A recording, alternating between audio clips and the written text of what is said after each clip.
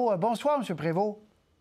Bonsoir, M. Roy. Vous avez dit, euh, c'est comme si on avait dérobé la Joconde au Louvre à Paris, puis on l'avait remplacée par un, par un faux. C'est, c'est quelque chose qui est quand même important à vos yeux.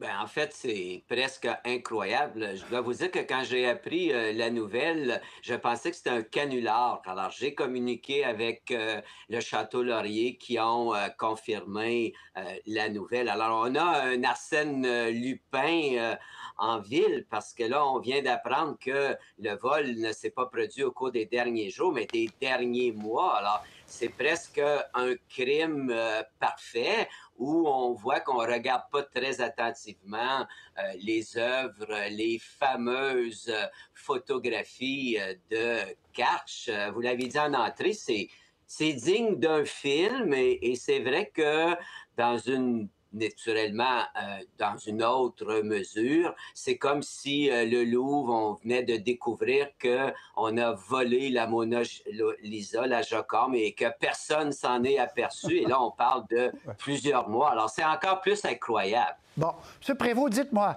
euh, cette photo, ce portrait remarquable de Winston Churchill, de Karch, d'abord, redonnez-moi le contexte, ça a été fait quand? Et Combien ça vaut une photo originale comme ça?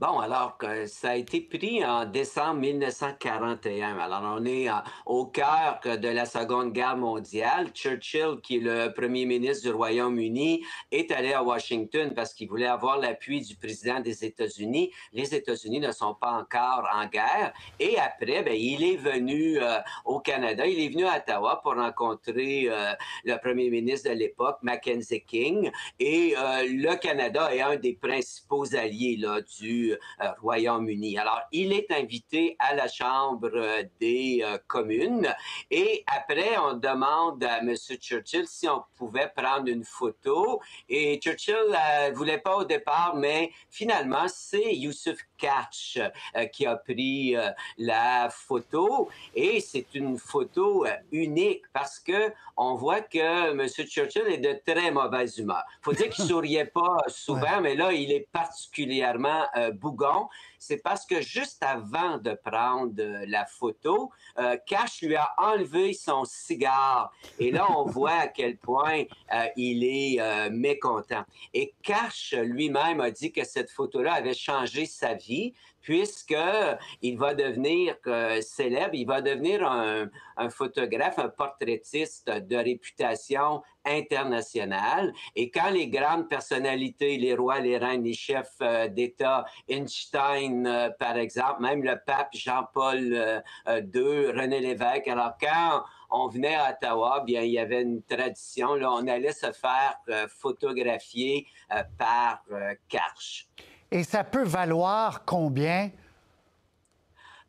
pour un, archiviste comme moi, un historien, ça n'a pas de valeur puisque ça fait partie de notre histoire, de notre patrimoine et c'est très lié aussi à l'histoire du château puisque Karch a eu euh, son studio là pendant 18 ans. Il a habité même au château mmh. Laurier avec euh, son sa seconde épouse.